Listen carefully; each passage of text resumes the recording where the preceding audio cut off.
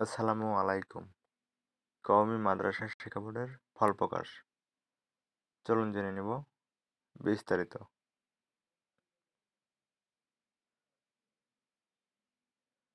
বাংলাদেশ কওমি মাদ্রাসা শিক্ষা বোর্ডের বেফাকুল মাদারিসিল আরাবিয়া বাংলাদেশ পঁয়তাল্লিশতম কেন্দ্রীয় পরীক্ষার ফলাফল প্রকাশিত হয়েছে।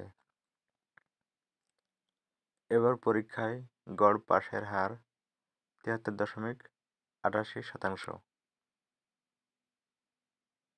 ইবতেদায়ী পঞ্চম নাহবেমির সপ্তম শরীফ বেকায়া দ্বাদশ মেসকাত স্নাতক ও হিপস মোট পাঁচটি স্তরে এ পরীক্ষা হয়।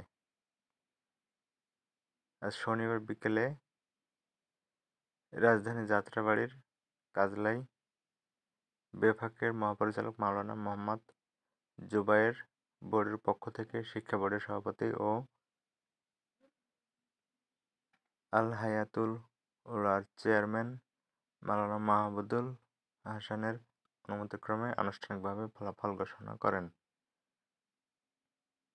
বেফাক জানিয়েছে, এবছর কেন্দ্রীয় পরীক্ষার পরীক্ষার্থী ছিল দুই লাখ পঁচিশ হাজার ছশো একাত্তর জন। এর মধ্যে এক লাখ দুই হাজার সাতশো সাতাশ জন ছাত্র, এক লাখ বাইশ হাজার নশো চারজন ছাত্রী উত্তীর্ণ হয়েছে, এক লাখ ছেষট্টি হাজার ছশো একানব্বই জন। উত্তীর্ণ পরীক্ষার্থীদের মধ্যে মেধা তালিকা মমতাজ অর্থাৎ স্টার মার্কস পেয়েছে তেত্রিশ হাজার চারশো তেত্রিশ জন। প্রথম বিভাগ জাহিদ জিদ্দান পেয়েছে সাঁত্রিশ হাজার ছশো পঁয়ষট্টি জন। দ্বিতীয় বিভাগ জাহিদ পেয়েছে চল্লিশ হাজার নশো সাতজন তৃতীয় বিভাগ মাকবুল পেয়েছে চুয়ান্ন হাজার ছশো তিরাশি জন।